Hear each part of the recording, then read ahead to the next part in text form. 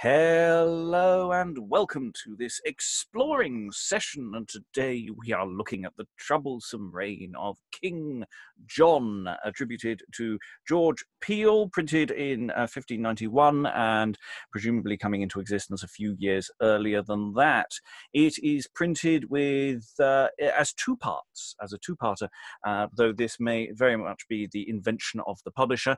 Uh, there are also uh, introductory epistles to each uh, of the part, uh, which sort of read like prologues, but also uh, uh, could just be uh, uh, something added to the edition uh, for the readers at home. Certainly, as it's called to the gentleman readers, one suggests that that's not a performative a bit of text, but maybe it is. Maybe it's just been adapted. Who knows? We'll find out in a minute. There's lots of things to be asking about this play. We're doing it over four sessions of varying lengths because there are several scenes which are irritatingly long, exactly the point where I want to pause our read through. Um, so uh, some sessions are going to be longer than others. Um, of course, uh, you may be thinking of this play, The Troublesome Reign of King John. You're obviously in your mind's eye, and everyone's going to be thinking this. You're thinking in your head, of course, King John, the famous play King John by John Bale, which is, of course, the one we're all thinking of now, we, which you can go back and watch the videos of. We have looked at that play. Uh, and King John turns up in a lot of plays. So there will be other plays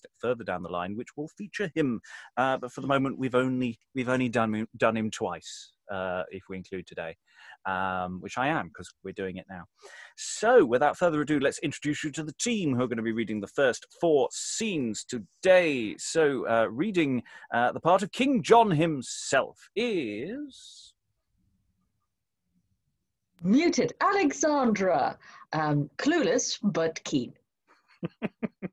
and uh, reading uh, the uh, introductory epistle to the readers, uh, Chatillon and Blanche today is. Uh, Lois, retired academic living in London. And reading uh, Lady Falconbridge and Limoges is. Aliki Chapple, also clueless but keen. Uh, reading uh, the Sheriff, uh, Lewis, and First Citizen today is. Hi, I'm Alan Scott. I'm neither an actor nor an academic, and I'm based in Suffolk. And uh, reading Queen Eleanor and an English Herald is. Hi, I'm Sarah Blake. I'm an actor, writer, and director based in Germany. And new to the session today, uh, joining us for the first time reading uh, Essex and King Philip is. I'm Eric, and um, I'm here to try and see what happens. yeah. I love the save on that sentence midway through. Uh, um, reading Robert and Constance today is. Hello, I'm Lynn Freitas. I'm a writing teacher living in the northwest of the United States. And uh, today, uh, a, a, complete bastard is uh, no reading uh, the the bastard is. Hi, I'm Steve Longstaffe, based in the northwest of England.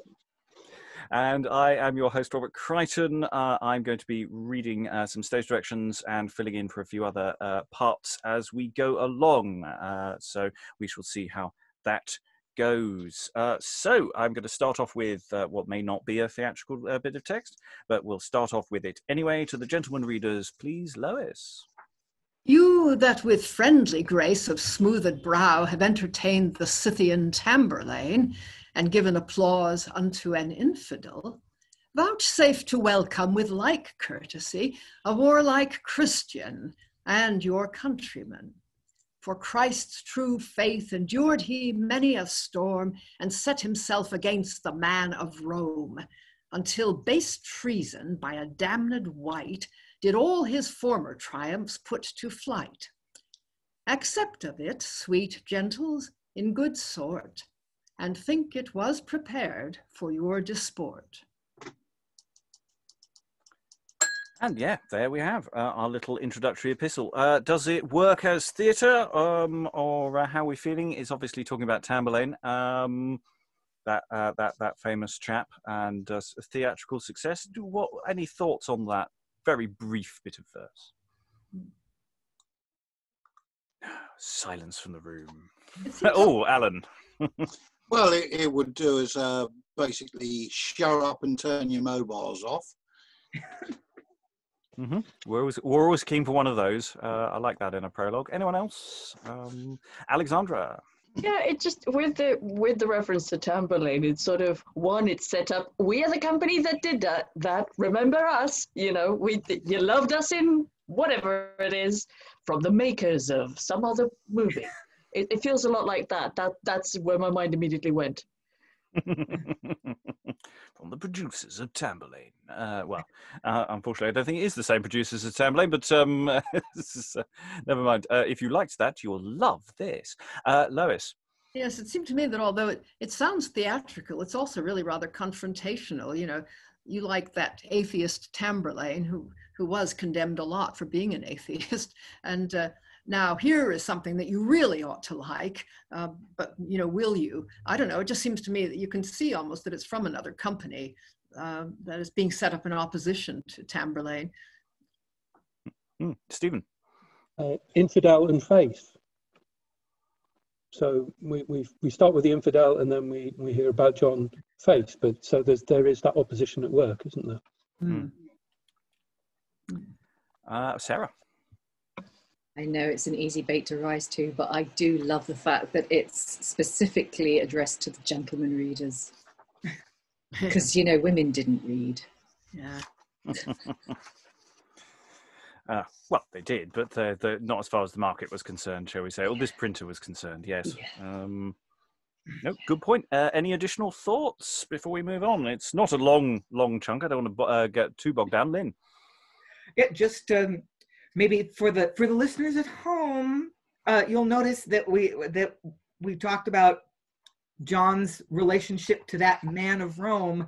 So yeah, perhaps we sh- should make it clear that in the in the early modern period, um, the important thing about King John is that he had this conflict with the Pope. That there was this this re- religious conflict. So he was framed as kind of a proto Protestant. The whole Robin Hood thing much later. We're not so. Uh, be prepared to be disappointed. No Robin Hood here.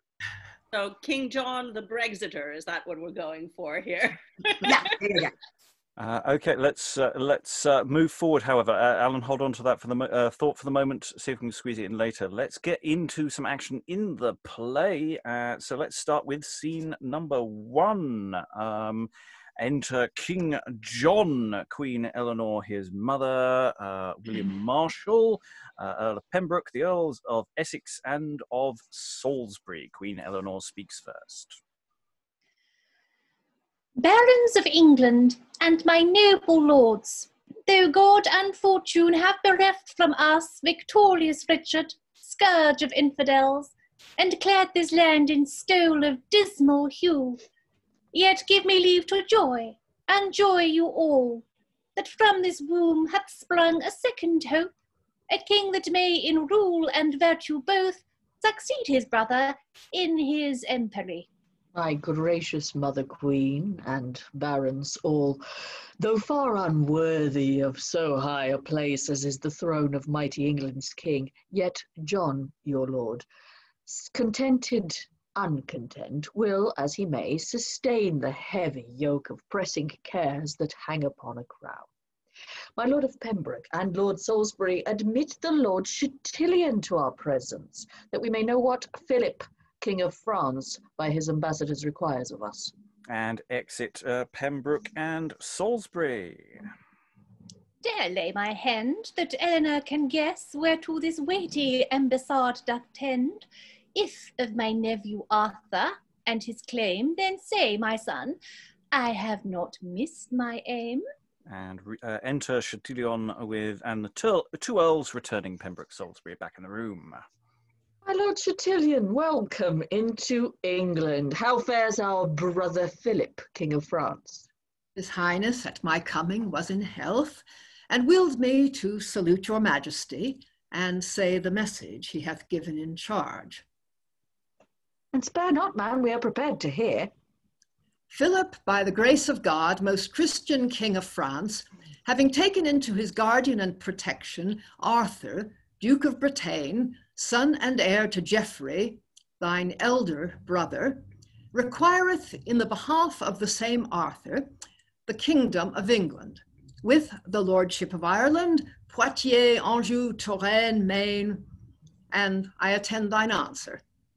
Small request, belike. He makes account that England, Ireland, Poitiers, Anjou, Touraine, Maine are nothing for a king to give at once. I wonder what he means to leave for me.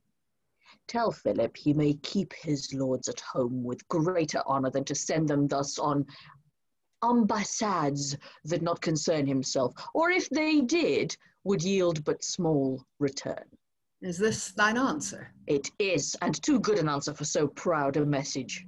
Then, King of England, in my master's name and in Prince Arthur, Duke of Bretagne's name, I do defy thee as an enemy and wish thee to prepare for bloody wars. My lord, that stands upon defiance thus. Commend me to my nephew. Tell the boy that I, Queen Eleanor, his grandmother, upon my blessing charge him leave his arms, whereto his headstrong mother pricks him so. Her pride we know, and know her for a dam that will not stick to bring him to his end, so she may bring herself to rule a realm. Next, wish him to forsake the King of France and come to me, and to his uncle here, and he shall want for nothing at our hands. This shall I do, and thus I take my leave. Pembroke, convey him safely to the sea, but not in haste. For as we are advised, we mean to be in France as soon as he, to fortify such towns as we possess in Anjou, Touraine, and in Normandy. Exit Chatillon with Pembroke.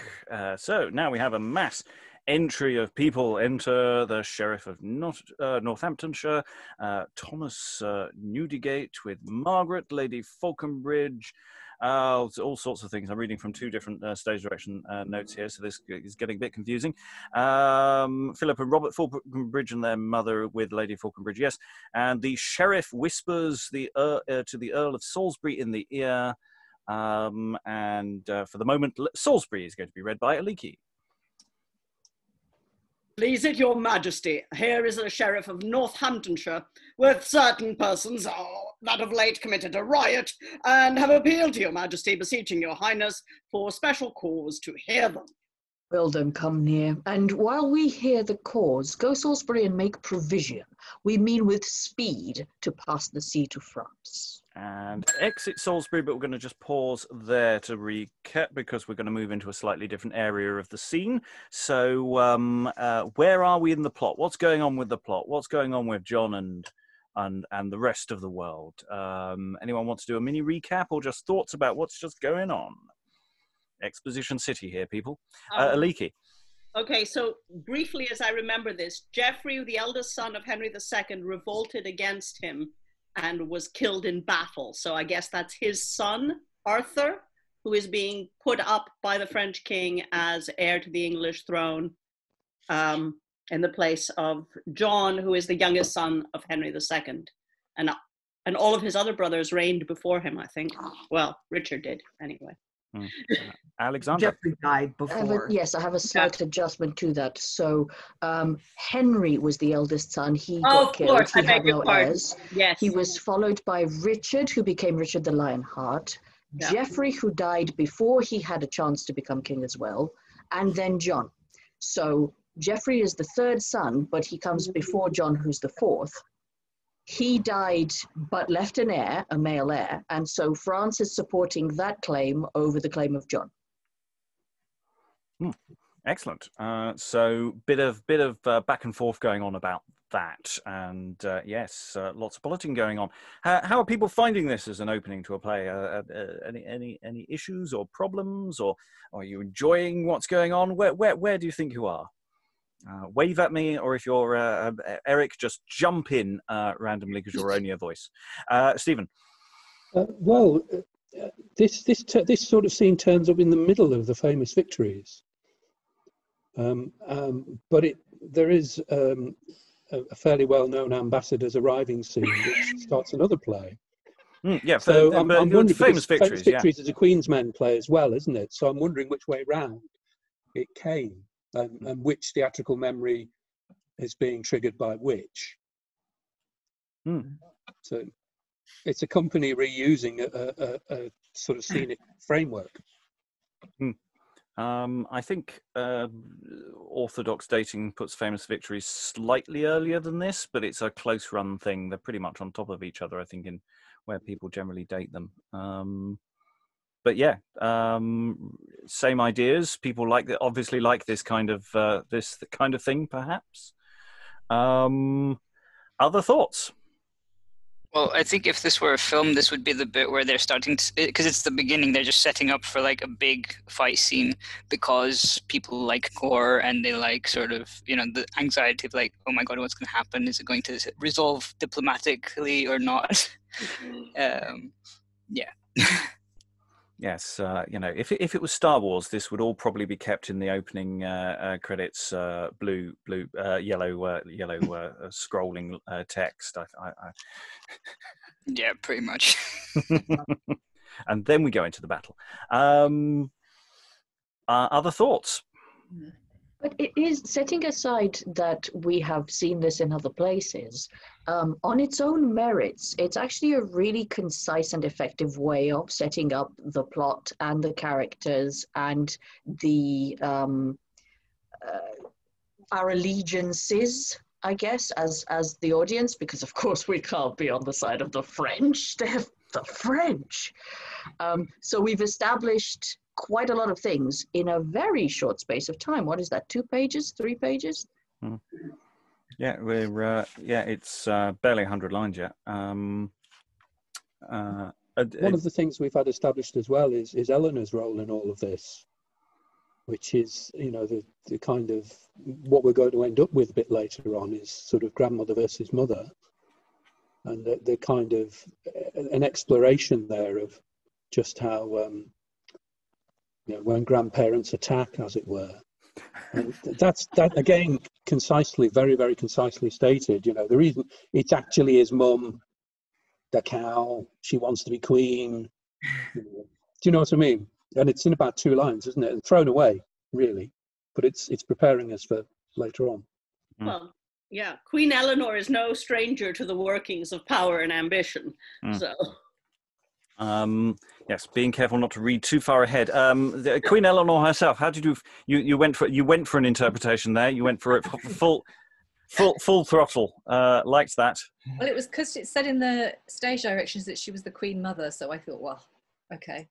Um, I, I just hope to God she doesn't have that much dialogue. The women don't normally, so I'm I'm I'm, I'm betting that she doesn't because I can't keep that going. You're, you're, you're, you are free to change your interpretation as you go. That's uh, she you know, might we're- she might suddenly go terribly common. Um, he was from the south of France, so yeah. Oh, that's true. Actually, that's that's entirely inappropriate what I chose to do there. But never mind. Just send, funny as hell. just send for another bottle of gin. yeah, yes, exactly. Another packet of Black Cat. Um, I, yeah, I mean, I just I do like plays where the where they get straight down to the conflict. It's like no messing about. Get in there. This is what's going on. You know, straight straight into the conflict. Everybody's already having a go at each other. It's yeah, it's it's kind of uh, entertaining. She, I mean, she is clearly um, a woman who knows her mind. Mm. Um, and yeah but as i say i'm guessing she probably hasn't got that much to do. I shouldn't say that because maybe i'm going to have like a four page speech. But like um That's never happened before. yeah. Yeah. Um so um yeah. I mean i'm i'm thinking she's sort of uh she's been set up here as um sort of you know pulling strings behind the scenes. But it will be interesting to see actually how how much of a role she has in the play. Hmm. Um, and you know because she starts off by talking about you know richard uh you know a person who's not there um you know on gong uh and of course using that traditional thing of uh, saying how great a king is by how many people he's possibly killed especially from another country um you know scourge of infidels you know it's that kind of thing that you know then is is, is a great compliment but today is uh slightly slightly more problematic. Um Yeah, uh, but wasn't he quite a terrible king? Uh, like, because he was absent all the time. oh yeah it was awful. So He was away on crusades. Yeah, he was away on crusades, which is why he's the scourge of infidels. Because you know he, Yeah, he did yeah. a really great job all the way over there, where he got captured and then spent about six years in prison, and we had to ransom him by by basically selling a whole chunk of of uh, land. Yeah, yeah, he was That's what- great. He was adorable. He was perfect. But Yeah. Eleanor got to rule got to to be regent in his stead. I don't know if it was over England or Aquitaine, but she got to basically be in charge for a whole bunch of time. Hmm, Yes, So, historically she was that. Um, But it's understandable that she would be going, "Yeah, he was great, wasn't he?" yeah, looking looking pointedly at John. Uh, Lynn. The the other sort of ahistorical thing to note here is the the the sense that the uh, the Angevin Empire was centered in England, which it was not. England was an outlier province. They these were Normans. Normandy and, and Aquitaine were much more valuable properties than England. So that you know the framing of John as the king of England with properties in France is really the opposite of, of how they would have thought of themselves. Is like we're and they would have been speaking Norman French Hmm. in court. So you know these are actually French people with uh, you know a conquered kingdom across the channel. But, uh, But that's yes. not how we're gonna. That's not the fiction though. No, that's not, not the, the world that's being painted here. We're going to move on. Uh, this is a long scene. I don't know if we'll pause in the middle of it or I'll just let it give it its head now that we've sort of bedded ourselves in a bit because we're having a new plot line, as it were, a different plot line approaching uh, any second now in uh, uh, questions of legitimacy. Uh, so as Salisbury exits, King John continues uh, talking to the Sheriff Shreve, who has just entered. Say, Shreve, what are these men? What have they done? Or where to tends the course of this appeal? Please, your majesty, these two brethren, unnaturally falling at odds about their father's living, have broken your highness' peace in seeking to right their own wrongs without cause of law and order of justice, and unlawfully assembled themselves in a mutinous manner, having committed a riot, appealing from trial the, in their country to your highness, and here I, Thomas Newdigate, Sheriff of Northamptonshire, do deliver them over to their trial. My Lord of Essex, will the offenders to stand forth and tell the cause of their quarrel? Gentlemen, it is the king's pleasure that you discover your griefs, and doubt not but you shall have justice. Please, your majesty, the wrong is mine. Yet will I abide all wrongs before I once open my mouth to unrip the shameful slander of my parents, the dishonour of myself, and the wicked dealing of my brother in this princely assembly. Then, by my prince his leave, shall Robert speak, and tell your majesty what right I have to offer wrong, as he accounteth wrong. My father, not unknown unto your grace, received his spurs of knighthood in the field at kingly Richard's hand in Palestine. When as the walls of Acon gave him way. His name, Sir Robert Falconbridge of Montbury. What by succession from his ancestors and warlike service under England's arms his living did amount to at his death, two thousand marks revenue every year. And this, my lord, I challenge for my right as lawful heir to Robert Falconbridge.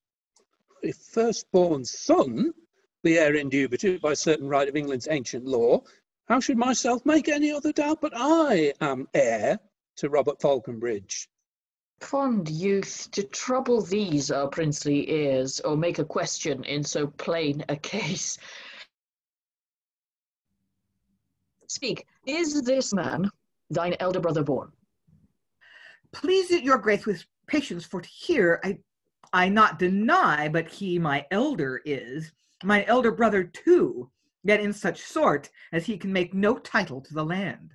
Hmm, a doubtful tale as ever I did hear. Thy brother and thy elder, and no heir. Explain this dark enigma.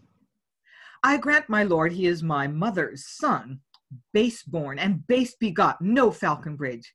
Indeed, the world reputes him lawful heir. My father in his life did count him so. And here my mother stands to prove him so. But I, my lord, can prove and do aver, both to my mother's shame and his reproach, he is no heir, nor yet legitimate. Then, gracious lord, let Falconbridge enjoy the living that belongs to Falconbridge, and let him not possess another's right. Prove this, the land is thine by England's law. Ungracious youth, to rip thy mother's shame, the womb from whence thou didst thy being take. All honest ears abhor thy wickedness, but gold, I see, doth beat down nature's law. And Lady Falconbridge kneels uh, down. My gracious lord, and you, thrice reverend dame, that see the tears distilling from mine eyes and scalding sighs blown from a rendered heart, for honour and regard of womanhood, let me entreat to be commanded hence. Let not these ears receive the hissing sound of such a viper who with poisoned words doth macerate the bowels of my soul. Lady, stand up. Be patient for a while. And fellow, say, whose bastard is thy brother? Not, not for myself, nor for my mother now, but for the honour of so brave a man whom he accuseth with adultery. Here I beseech your grace upon my knees to count him mad and so dismiss us hence. Nor mad nor mazed, but well advised, charge thee before his royal presence here to be a bastard to King Richard's self, son to your grace, and to and your to and brother to your majesty, thus bluntly, and Young man, thou needst not be ashamed of thy kin nor of thy sire, but forward with thy proof. the proof so plain, the argument so strong, as that your highness and these noble lords all and all shall save those that have no eyes to see shall swear him to be bastard to the king. First when my father was ambassador in germany unto the emperor the king lay often at my father's house and all the realm suspected what befell. And at my father's back return again my mother was delivered as tis said six weeks before the account my father made but more than this, look but on Philip's face, his features, actions, and his lineaments. And all this princely presence shall confess he is no other but King Richard's son. Thus, then, gracious lord, rest he King Richard's son, and let me rest safe in my father's right, that am his rightful son and only heir. Is this thy proof and all thou hast to say? I have no more, nor need I greater proof.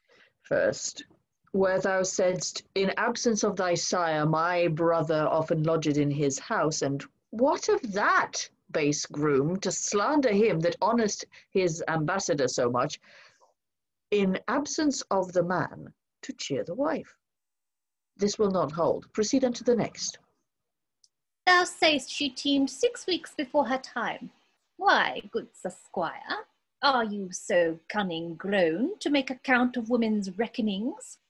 Spit in your hand, and to your other proofs. Many mischances happen such affairs to make a woman come before her time. And where thou sayest he looketh like the king in action, feature, and proportion, therein I hold with thee, for in my life I never saw so lively counterfeit of Richard Coeur de Lion as in him. Then, good my lord, be you indifferent judge, and let me have my living and my right. Nay, here you, sir, you run away too fast. Knew you not omne simile non est idem?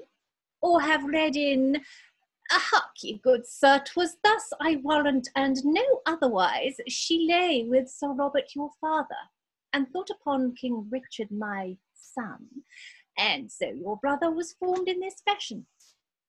Madam, you wrong me thus to jest it out.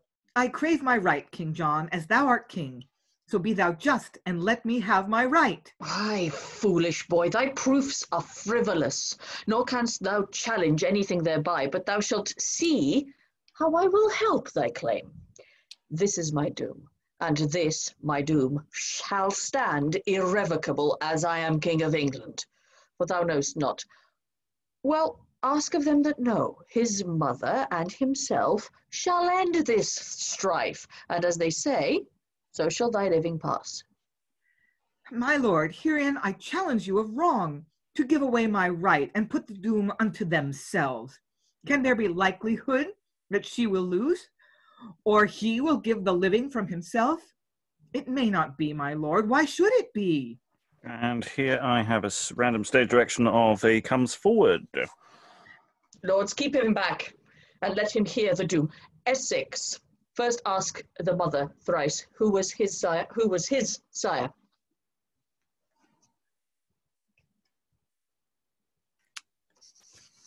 Uh, Essex. Sorry, apologies. I thought I had unmuted. Um, Lady Margaret, widow of Falconbridge, who was father to thy son Philip? Please it your majesty, Sir Robert Falconbridge. This is right. Ask my fellow there if I be thief. Ask Philip whose son he is. Philip, who was thy father? Well, Mass, my lord, that's a question. And you're not taking some pains with her before. I should have desired you to ask my mother. Say who was thy father. Faith, my lord, to answer you sure, he he's my father that was nearest my mother when I was gotten, and him I think to be Sir Robert Falconbridge. Essex, for fashion's sake, demand again, and so an end to this contention. Was ever my man thus wronged as Robert is?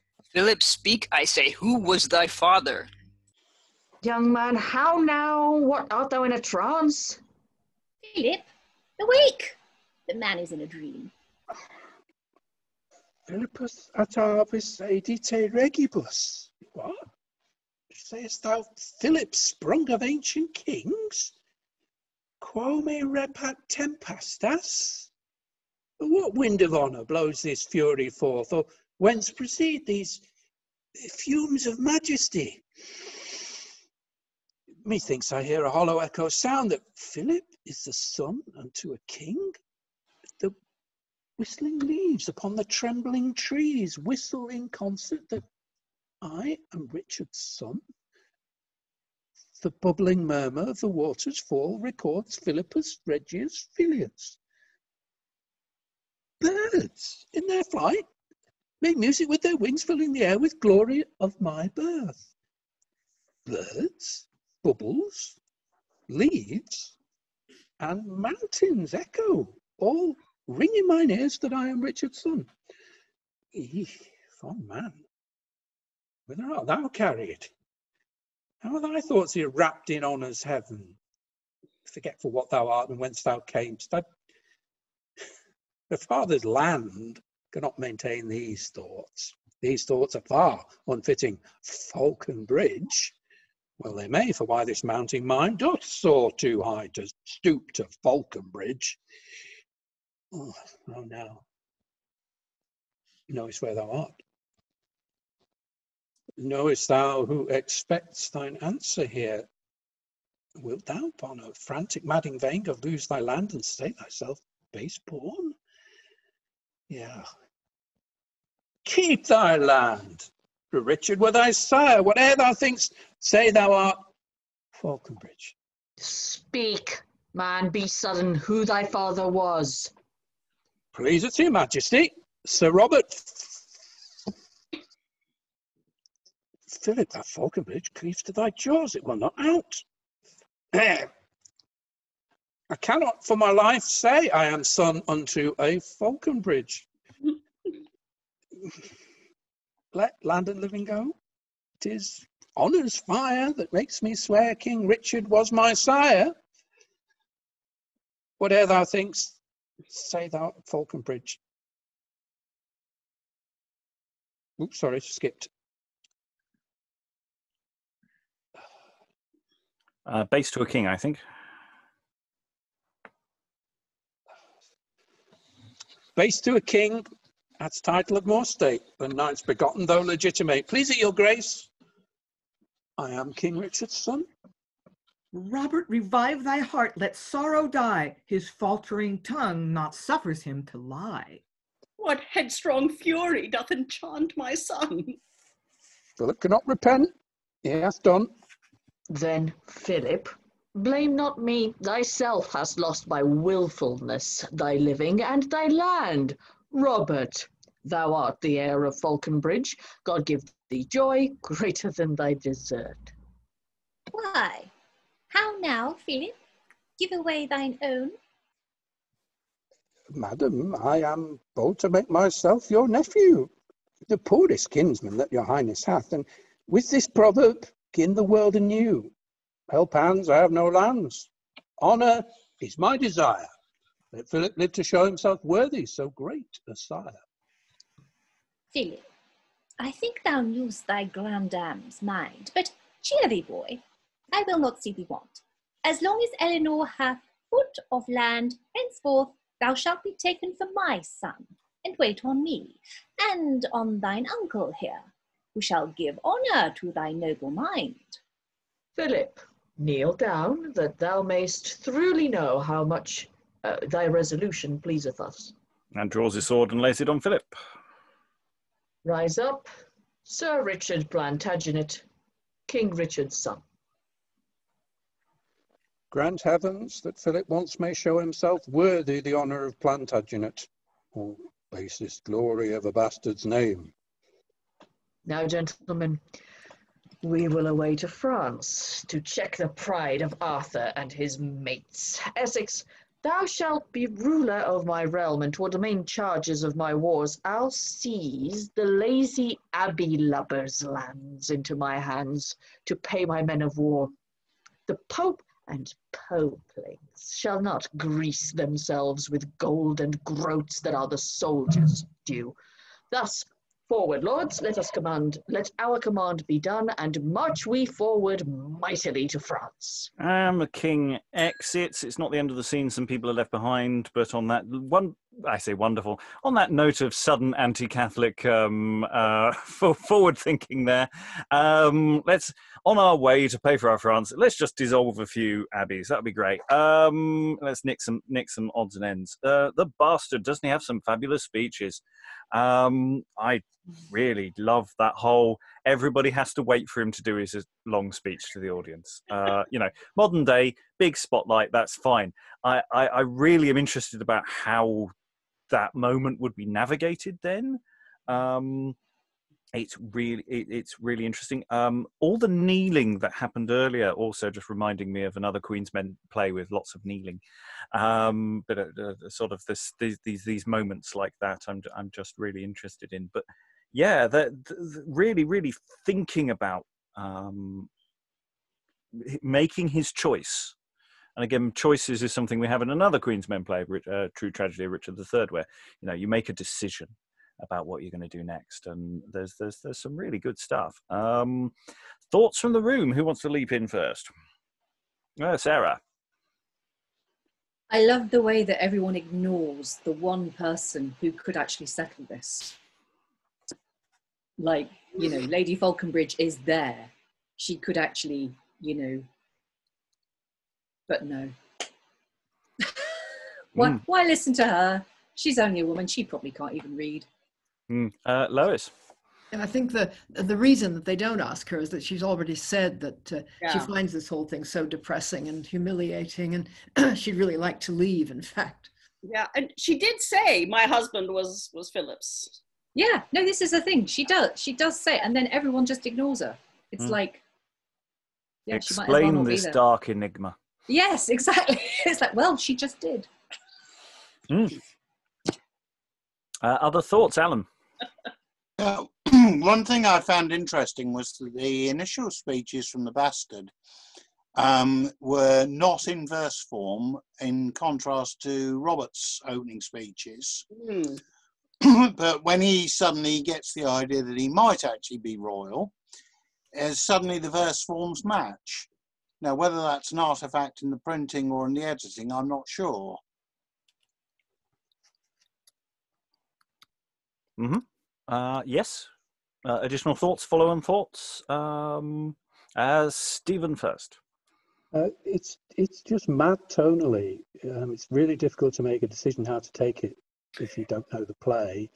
Whether to do it straight because this is quite serious stuff about birthright and inheritance and you know link to the royal family, or whether uh, whether to try and play it for some kind of comic turn.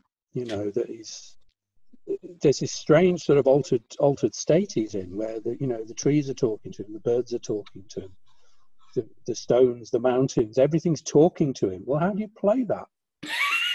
Mm.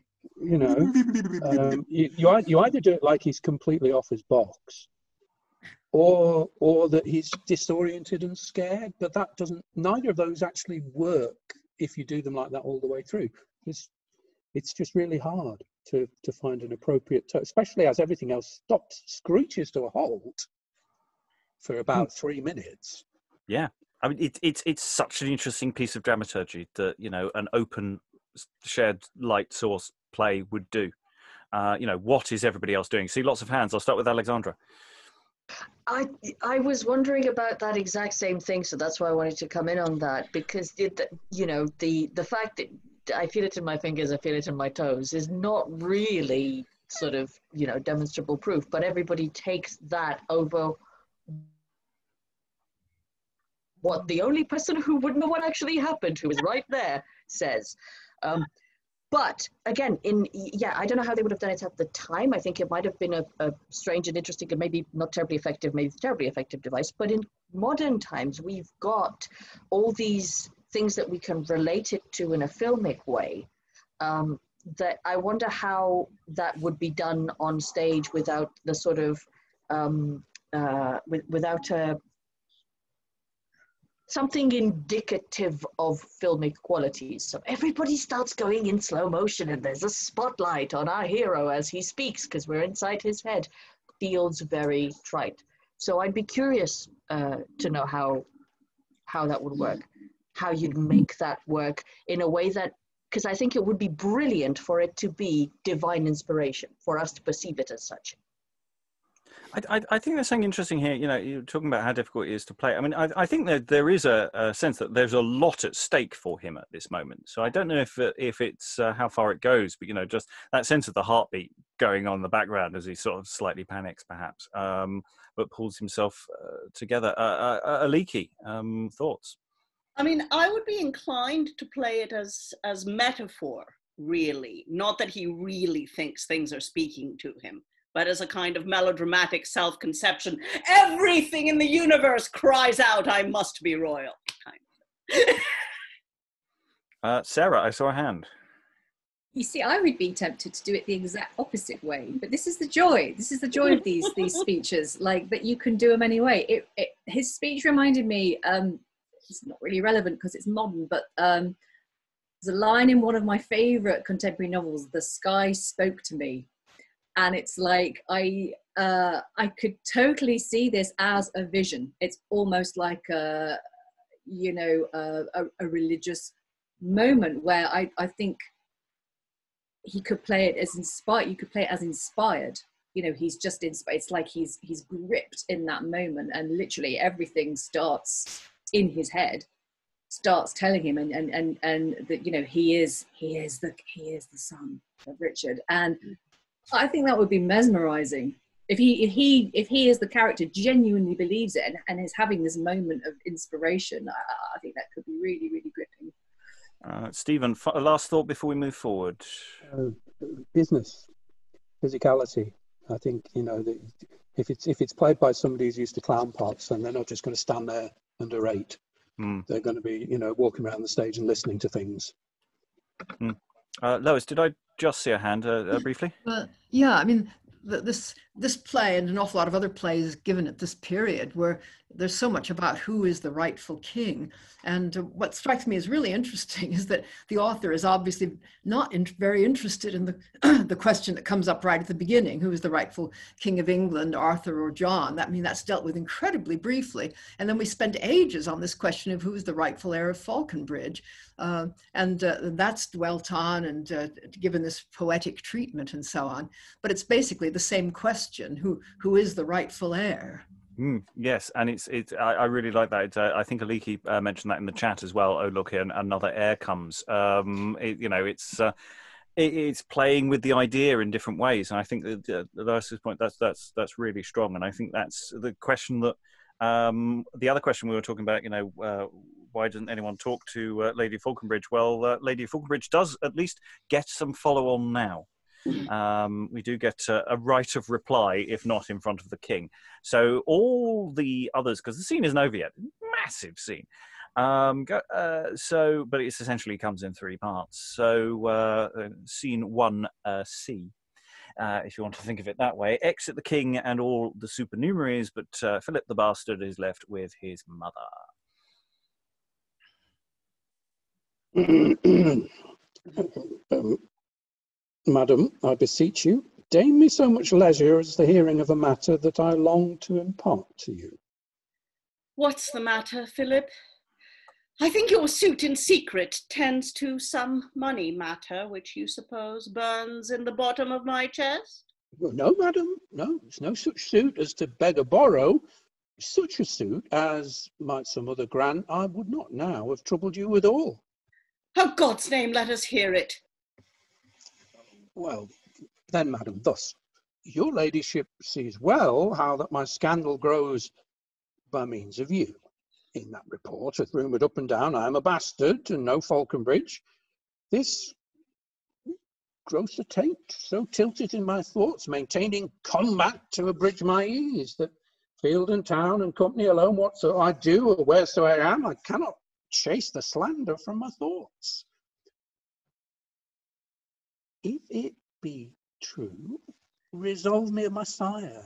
For pardon, madam, if I think amiss, be Philip Philip, and no Falconbridge, his father doubtless was as brave a man. To you, on knees, as sometime Phaeton, mistrusting silly Merops for his sire, staining a little bashful modesty, I beg some instance whence I am extraught. Yet more ado to haste me to my grave. And wilt thou too become a mother's cross? Must I accuse myself to close with you, slander myself to quiet your effects? Thou movest me, Philip, with this idle talk, which I remit in hope this mood will die. Uh, nay, lady mother, hear me further yet, for strong conceit drives duty hence a while. Your husband, Falconbridge, was father to that son that carries marks of nature like the sire. The son that blotteth you with wedlock's breach and holds my right as lineal in descent from him whose form was figured in his face. Well, can nature so dissemble in her frame to make the one so like as like may be, and any other print no character to challenge any mark of true descent? Well, my brother's mind is base and too too dull to mount where Philip lodgeth his effects. His external graces that you view, though I report it, counterpoise not mine. His constitution, plain debility, requires the chair, mine the seat of steel. And what is he? And what am I to him? When anyone that knoweth how to cart will scarcely judge as both one country born. This, madam, this hath drove me from myself. And here, by heaven's eternal lamps, I swear, as cursed Nero with his mother did, so I with you. You resolve me not. Let mother's tears quench out thy anger's fire, and urge no further what thou dost require. Let son's entreaty sway the mother now, or else she dies. I'll not infringe my vow. Unhappy task! Must I recount my shame, blab my misdeeds, or, or by concealing die? Some power strike me speechless for a time, or take from him a while his hearing's use. I wish I so unhappy as I am. The fault is mine, and he the faulty fruit. I blush, I faint. Oh, would I might be mute, Mother, be brief. I long to know my name. And longing die to shroud thy mother's shame. Oh, madam, come, you need not be so loth. The shame is shared equal twixt us both. It's not a slackness in me worthy blame to be so old and cannot write my name. Mother, resolve me. And Philip, hear thy fortune and my grief, my honour's loss by purchase of thyself, my shame, my name and husband's secret wrong, all maimed and stained by youth's unruly sway. And when thou knowest from whence thou art extraught, if thou knewst what suits, what threats, what fears, to move by love or massacre by death, to yield with love or end by love's contempt, the mightiness of him that courted me, who tempered terror with his wanton talk, talk that something may extenuate the guilt, let it not advantage me so much. Upbraid me rather with the Roman dame that shed her blood to wash away her shame, whilst I and I to expostulate the crime with pro and contra. Now the deed is done. When, to conclude, two words may tell the tale. That Philip's father was a prince's son, rich England's rule, world's only terror, he, for honour's loss, left me with child of thee, whose son thou art, and pardon me the rather, for fair King Richard was thy noble father. Well, Robin Falconbridge, I wish thee joy. My sire a king, and I a landless boy. God's lady, mother, the world is in my debt. There's something owing to Plantagenet. Nay, marry, sir, let me alone for game. I'll act some wonders now I know my name. My blessed Mary, I'll not sell that pride for England's wealth and all the world beside. Sit fast, the proudest of my father's foes. Away, good mother. There the comfort goes.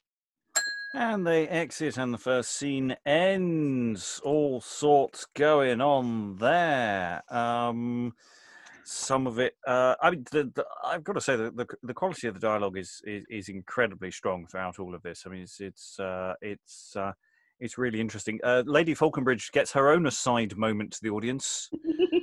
I've, I've written in the thing; they're all at it. Um, yeah. Um, it's it's it's but it's weirdly coercive and there's there's all sorts of weird elements to this because of course he, now that he knows he knows what's at stake here and she knows what's at stake here because they know they're going to be get something out of being a royal bastard which they didn't earlier. Um, there's a, an interesting question about you know uh, what is true and what is not potentially in this scene. Uh, you know um, is is is this uh, you know trying to decide uh, is is the shame worth it for social advancement? Um, and all sorts of questions that's going on here and the way shame is played.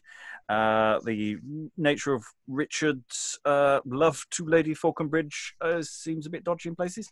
Um, he said uh, putting it mildly. Uh, so question, thoughts around the room. Lois first. Yeah, well, uh, I think it's pretty shocking that he threatens to murder her if she doesn't tell Yeah. him. I mean, I mean, Such that love. pretty much loses all the sympathy that one has been building up for him in this scene. Mm. Uh, eric were you saying something No, I was just saying, like, uh, he, he loves her so much. Yeah. He loves her so much that he'll murder her.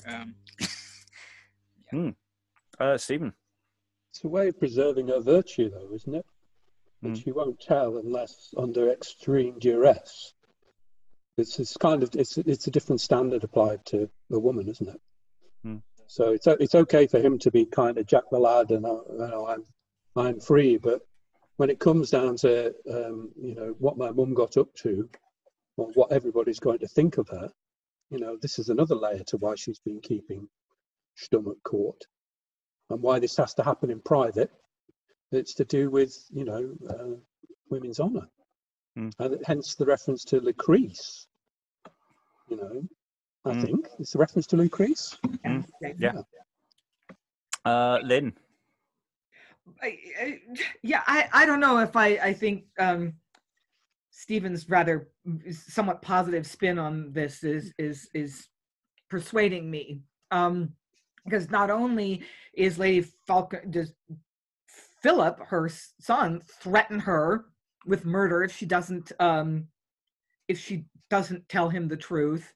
It's sort of a that's a rehearsal of um, King Richard, who to move by love or massacre by death to yield with love or end by love's contempt. Evidently, Richard threatened her with violence if she didn't didn't um, succumb, and and that reference to to Lucrece i- implies that she didn't she wasn't seduced she was raped Mm.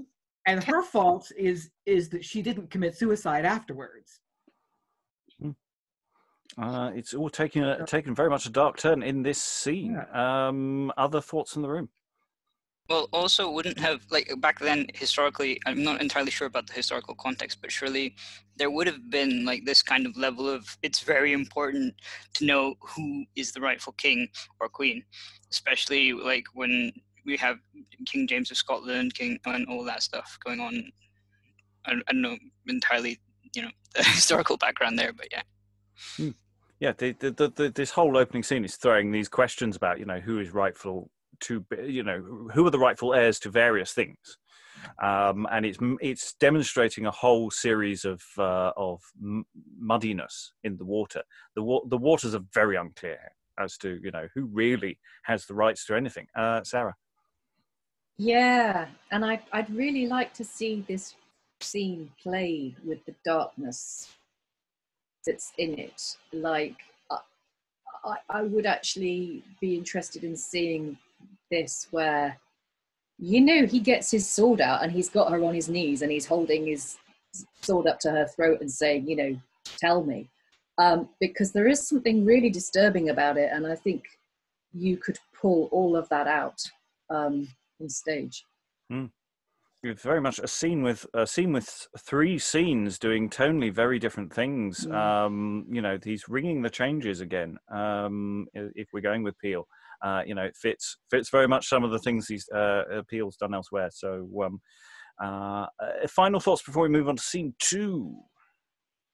I, I'm just stuck on that rape. Um, I, I can't move away from it. That, that's the bit I want underlined, as well as the, the violence from her son. That's all. Mm, yes, I mean you put on the in the chat, and I've I've got it underlined as well. Who te- Richard, who tempered terror with his wanton talk. Um, you know, it's it's pretty explicit, and it's said more than once uh, in varying ways. Yeah, that's Harvey Weinstein stuff there. It's Not abuse of power. how we're used to seeing Richard Lionheart. But also yes. the fact that sorry. No, no, Garrick. I was just going to say also the fact that kings could get away with it, or like someone in power could get away with it, whereas now, well, I guess they can still get away with it if it's not spoken out loud. Mhm. Uh, Alexandra, were you uh, wanting to leap in?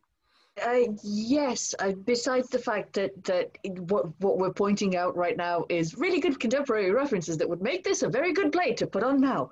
Um, In that awkward, uncomfortable kind of way. Yes, Yeah, yeah, um, yeah, yeah. absolutely. Yes. Yeah.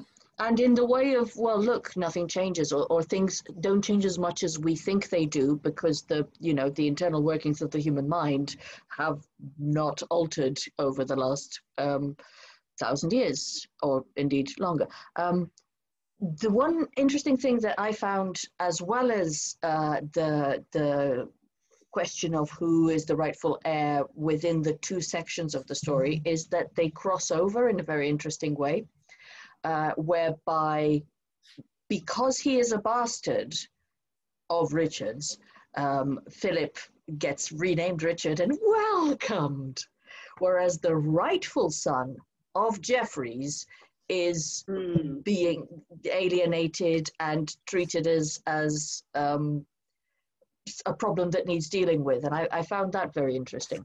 Well, he's a snitch, isn't he? You- You're supposed to keep quiet about these things, um, and you know there he- he's he's gone in I, I- uh, uh, to to undermine a member of his own family, or two members of his own family. I mean, he's he's he's not a desperately nice person in, in respect of that that scene either. Sarah, There's that delicious irony as well because um, John says early on, well, he's the eldest son. Mm. You know, he's the one with the he. Uh, yeah, he might be a bastard, but he's the one with the claim to the title and the Mm. money. And then, of course, as it turns out, he's got that. He's got a claim to his title and money. So I mean, that's just a really great bit of yeah. He, ha- he has a sort of divine hotline to confirm it all for us, though, doesn't he? Mm. So that that's the thing. You know, we, we do go to the kind of court of appeal. You know, the, the natural world says no. Actually, forget about this. Is actually the truth. Whereas in the in the in the world of high politics, it's just claim and counterclaim.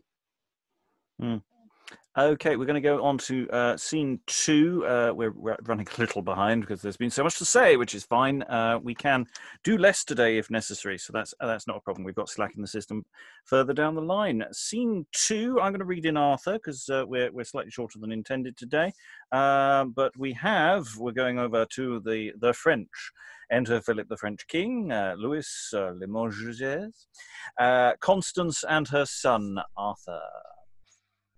Now, can we broach the title of thy claim? Young Arthur in the Albion territories, scaring proud Angiers with a pu- puissant siege. Brave Austria, cause of Coeur de Lion's death, is also come to aid thee in thy wars. And all our forces join for Arthur's right, and but for causes of great consequence, pleading delay till news from England come. Twice should not Titan hide him in the west to cool the fetlocks of his weary team, till I had, with an unresisted shock, controlled the manage of proud Angers' walls, or made a forfeit of my claim to chance. May be that John, in conscience or in fear to offer wrong where you impugn the ill, will send such calm conditions back to France as shall rebate the edge of fearful wars. If so, forbearance is a deed well done. Ah, mother, possession of a crown is much, and John, as I have heard reported of for present vantage, would adventure far. The world can witness in his brother's time he took upon him rule and almost reign. Then must it follow as a doubtful point that he'll resign the rule unto his nephew?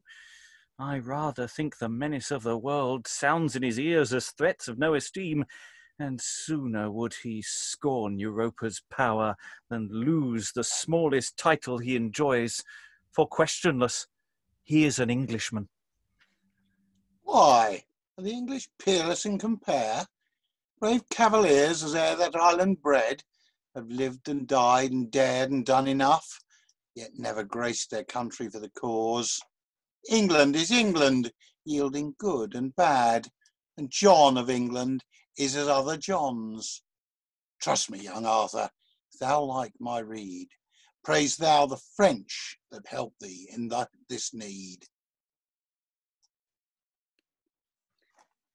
The Englishman hath little cause, I trow, to spend good speeches on so proud a foe.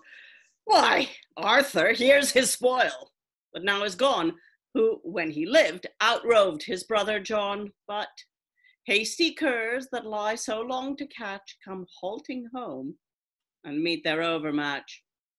But news comes now. Here's the ambassador. For enter Chatillon. And in good time, welcome, my lord Chatillon. What news? Will John accord to our command? Uh, be I not brief to tell your highness all, he will approach to interrupt my tale, for one self-bottom brought us both to France. He, on his part, will try the chance of war, and if his words infer assured truth, will lose himself and all his followers ere yield unto the least of your demands. The mother queen, she taketh on a main gainst Lady Constance, counting her the cause that doth effect this claim to Albion, conjuring Arthur with a grand dame's care to leave his mother, willing him submit his state to John and her protection, who, as she saith, are studious, studious for his good. Uh, more circumstance the season interrupts. This is the sum which briefly I have shown. This bitter wind must nip somebody's spring. Sudden and brief white, so 'tis harvest weather. But say, Chatillon, what persons of account are with him? Of England, Earl Pembroke and Salisbury, uh, the only noted men of any name. Next them, a bastard of the king's deceased, a hardy wild head, tough and venturous, with many other men of high resolve. Uh, then is there with them Eleanor, mother queen, and Blanche, her niece, a daughter to the king of Spain. These are the prime birds of this hot adventure. And so, having called out who has to enter now into this scene, into the wing very, very loudly uh, in the previous speech, well done there, uh, Chatillon. Um, enter, indeed, King John and his followers, Queen Eleanor, Bastard, Blanche, Falconbridge, Earls, etc.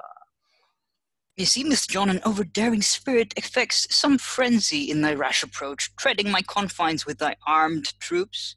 I rather looked for some submissive reply touching the claim thy nephew Arthur makes to that which thou unjustly dost usurp. For that, Chatillon can discharge you all. I list not plead my title with my tongue, nor came I hither with intent of wrong to France or thee, or any right of thine, but in defence and purchase of my right, the town of Angers, which thou dost begirt in the behalf of Lady Constance's son, whereto nor he nor she can lay just claim. Yes, false intruder, if that be just and headstrong usurpation put apart, Arthur, my son, heir to thy elder brother, without ambiguous shadow of descent, is sovereign to the substance thou withholdest. Misgoverned gossip, stain to this resort, occasion of these undecided jars. I say that no, to check thy vain suppose, thy son hath naught to do with that he claims. For proofs whereof I can infer a will that bars the way he urgeth by descent. A will indeed, a crabbed woman's will, wherein the devil is an overseer and proud Dame Eleanor's sole executress. More wills than so, on peril of my soul, were never made to hinder Arthur's right. But say there was, as sure there can be none. The law intends such testaments as void, where right descent can no way be impeached. Peace, Arthur, peace. Thy mother makes thee wings to soar with peril after Icarus. And trust me, youngling, for thy father's sake I pity much the hazard of thy youth. Beshrew you else, how pitiful you are, ready to weep to hear him ask his own. Sorrow betide such grandams and such grief that minister a poison of pure love. But who so blind as cannot see this beam that you, forsooth, would keep your cousin down for fear his mother should be used too well? And there's the grief. Confusion catch the brain that hammers just to stop a prince's reign. Impatient, frantic, common slanderer, immodest dam, unnurtured quarreller. I tell thee, I, not envy to thy son, but justice makes me speak as I have done. But here's no proof that shows your son a king. What once my sword shall more at large set down. That may break before the truth be known. This may hold till all is right be shown.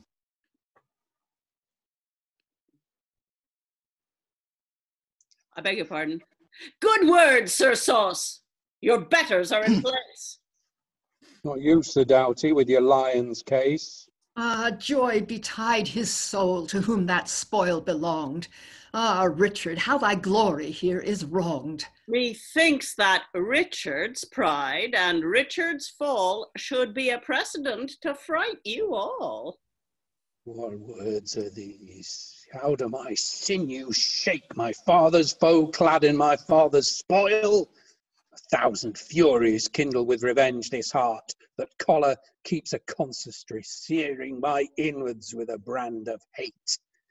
How doth Alecto whisper in mine ears, delay not, Philip, kill the villain straight, disrobe him of the matchless monument thy father's triumph over the savages. Base herd groom, coward, peasant, worse than a threshing slave. What makest thou with the trophy of a king? Shamest thou not, coistrel, loathsome dunghill swad, to grace thy carcass with an ornament too precious for a monarch's coverture? Scarce can I temper due obedience unto the presence of my sovereign from acting outrage on this trunk of hate. But on thee, traitor, wronger of renown, for by his soul I swear, my father's soul, twice will I not review the morning's rise till I have torn that trophy from thy back and split thy heart for wearing it so long. Philip hath sworn, if it be not done, let not the world repute me Richard's son. Nay, soft, Sir Bastard. Hearts are not split so soon. Let me rejoice that at the end do win, and take this lesson at thy foeman's hand. Pawn not thy life to get thy father's skin. Well may the world speak of his knightly valor that wins this hide to wear a lady's favor. Ill may I thrive and nothing brook with me if shortly I present it not to thee. Lordings forbear, for time is coming fast, that deeds may try what words cannot determine. And to the purpose, for the cause you come, meseems you set right in chance of war, yielding no other reasons for your claim. But so and so, because it shall be so.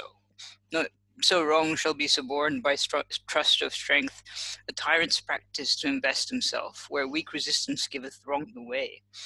The check, the, to, to check the which, in holy lawful arms, I, in the right of Arthur, Geoffrey's son, am come before this city of Angiers to bar all other uh, false supposed claim, from whence or howsoever the error springs. And in this quarrel, on my princely word, I'll fight it out unto the latest man. No, King of France, I will not be commanded by any power or prince in Christendom to yield an instance how I hold mine own, more than to answer that mine own is mine. But wilt thou see me parley with the town, and hear them offer me allegiance, fealty, and homage as true liegemen ought? Summon them. Summon them. I will not believe it till I see it, and when I see it, I'll soon change it. So they summon the town, I don't know if it's by trumpet or something along those lines, and the citizens appear upon the walls. You men of Angiers, and as I take it, my loyal subjects, I have I have summoned you to the walls to dispute on my right, where to think you doubtful therein, which I am persuaded you are not. In few words, our brother's son, backed with the King of France, have beleaguered your town upon a false pretended title to the same. In defense whereof I, your liege lord, have brought our power to fence you from the usurper, to free your intended servitude, and utterly to supplant the foeman to my right and your rest. Say then who who keep you the town for? For our lawful king. I was no less persuaded. Then in God's name, open your gates and let me enter. And please your highness, we control not your title, neither will we readily, rashly admit your entrance. If you be lawful king, with all obedience we keep it to your use. If not king, our rashness were to be impeached for yielding without more considerate trial. The answer not as men lawless, but to the behoof of him that proves lawful. I shall not come in then. No, my lord, till we know more. Then hear me speak in the behalf of Arthur, son of Geoffrey, elder brother to John. His title manifests without contradiction to the crown and kingdom of England, with Angiers and diverse towns on this side the sea. Will you acknowledge him, your liege lord, who speaketh in my word, to entertain you with all favours, as beseemeth a king to his subjects, or a friend to his well willers? Or stand you to the peril of your contempt when his title is proved by the sword? We answer as before. Till you have proved one right, we acknowledge none right. He that tries himself our sovereign, to him will we remain firm subjects. And for him, and in his right, we hold our town, as desirous to know the truth, as loath to subscribe before we know. More than this we cannot say, and more than this we dare not do. Then, John, I defy thee in the name and behalf of Arthur Plantagenet, thy king and cousin, whose right and patrimony thou detainest, as I doubt not, ere the day end, in a set battle, make thee confess, whereunto a zeal to right, I challenge thee. I accept the challenge and turn the defiance to thy throat. And they exit for some fighty fighty action. Um, so, um, lots of the. I like the first citizen. I think the citizens of this town are very, very sensible people. I think this is this. You know, it's it's really not our problem. Which of you's king? Just sort it out amongst yourselves. Uh, th- then we've got the mother rap battle uh, going on uh, at one point. My son's uh, no, my son. Um, um, shush, small child um, moments. Um, yeah, there's so so much good stuff and so many good insults. As has um, I love Arthur's line for questionless. He is an Englishman. um, says says so much. Says so much. There are other good insults that I think uh, people should uh, bring up as they we go around the room. Uh, so thoughts from this scene again. It contains multitudes, but uh, it's not not a long scene in, in the way we had before. Who wants to dive in first? Uh, Aliki. I mean, it's another iteration of the same dilemma we've had at every point, right? Who's the legitimate person? Who gets to do this thing? Tell us. We don't know. We don't know. Hmm. Yeah. Yeah, absolutely. Yeah, it's a it's it's it's it's really playing with this iteration of, of right. Uh, you know, who's the rightful king? Well, it's not really who's who's got the most power. is really what we're talking about here, Stephen. Well, yeah, it's not rightful; it's right, isn't it? Mm. And that, that that's one of the things that the, the previous scene is is functioning with, is is to kind of just throw this sort of narrow legalistic approach up in the air. Um, other thoughts, uh, Lois?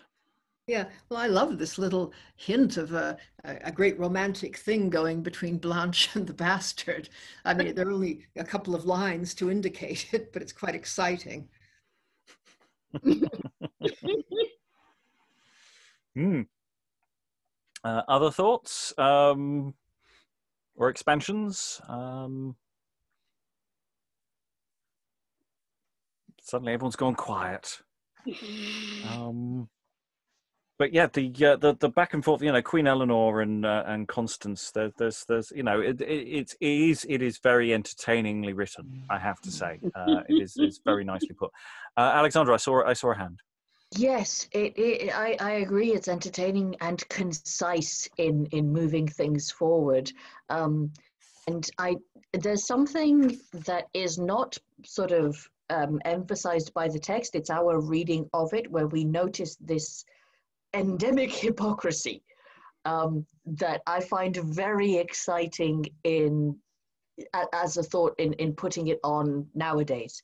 You know, again, um, the the idea that y- that we would, I mean, it, I don't know how exactly, but to illustrate the fact that exactly the same people are saying that these are the rules in a, in a particular situation and that these are the same things are not the rules in the yeah other situation. I just i can see it and i love it and i don't know how to um, present that in a way that makes it sort of evident and clear without it being and history lesson ladies and gentlemen. We interrupt this program to teach you about um, but i think it's it's one of the great exciting things about this as much as we've read so far Yeah, um, I mean, it's doing a lot and it's throwing a lot of things at us, um, and it is going to be a question of how much you know the audience takes in.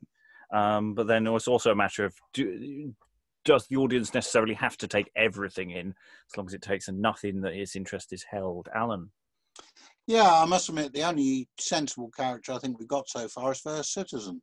Yeah. But, uh, you know, you can't, of course, put anything on stage that actually gives the people a vote. You know, it's got to be run for on behalf of the aristos, as per ever. um, yeah. Uh, and it wouldn't be the first time one of the best uh, parts in a sequence uh, in a Queen's Men's play has the the most boring name. Um, we've had Messenger and Page before, who've turned out to be delightful.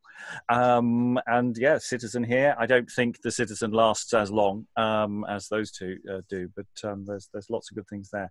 Uh, any uh, final thoughts? What we're going to do is we're going to run scene three, which is very short, into scene four. Uh, and we're going to try and get through them before we uh, crash into extra time. Uh, if it looks like we're really going to fail, I'll pause midway through the scene and we'll just uh, we'll we'll at a, a logical point. Scene four is reasonably long, but not excessively long. He said, famous last words. So scene three, there are excursions. There may even be alarms as well. Who knows? The bastard chaseth Limoges, uh, the ostrich duke and maketh him leave the lion's skin. Now thou gone, misfortune on thy steps, chill cold fear assail thy time and the rest. Morpheus, be there thy silent Eben cave besieges thoughts with dismal fantasies, and ghastly objects of pale threatening moors affright him every minute with stern looks.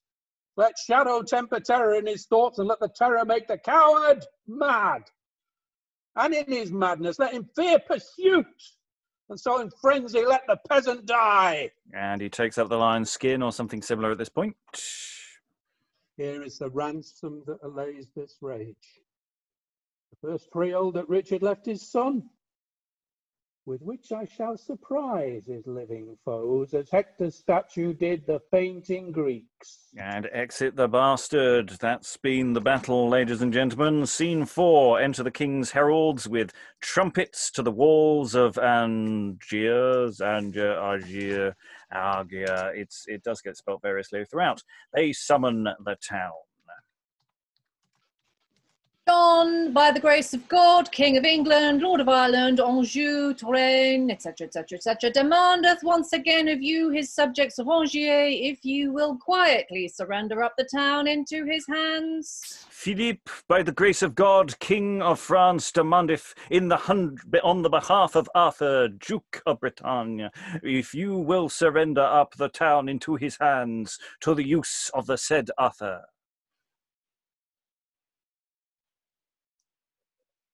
Citizens plural. Alan, if you'll step in and be all the citizens. as Sorry, well. I, ah, sorry, I lost the page. Heralds, go tell the two victorious princes that we, the poor inhabitants of Angers, require a parley of their majesties. We go. We go. And so enter the kings, Queen Eleanor, Blanche Bastard, Falconbridge, Luminez, uh, Louis, Chatillon, uh, the Pe- Earls of Pembroke, Salisbury, Constance, and Arthur, Duke of Britannia. Uh, there will be some um, uh, doubling uh, issues occasionally here. Uh, good luck, everyone.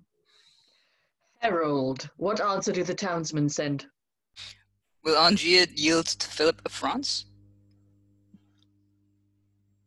The townsmen on the walls accept your grace. And uh, parley, uh, crave a parley of your majesty. You citizens of Algiers, have your eyes beheld the slaughter that our English bows have made upon the coward, fraudful French, and have you wisely pondered therewithal your gain in yielding to the English king? Their loss in yielding to the English king. But John, they saw from out their highest towers the chevaliers of France, and crossbow shot, make lanes of slaughtered bodies through thine host, and are resolved to yield to Arthur's right. Why, Philip, though thou bravest it for the walls, thy conscience knows that John hath won the field. Whate'er my conscience knows, thy army feels that Philip had the better of the day. Philip! Indeed, that's not my line. Indeed, hath got the lion's case, which here he holds to Limoges disgrace, base duke, to fly and leave such spoils behind. For this thou knewest of force to make me stay.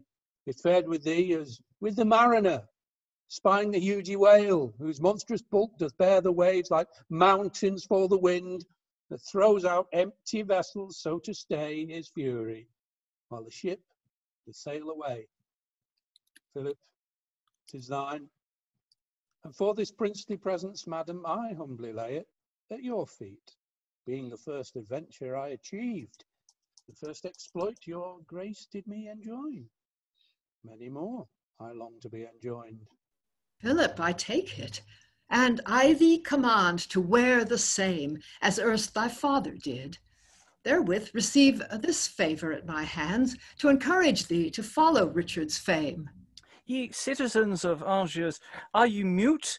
Arthur or John? Say, which shall be your king?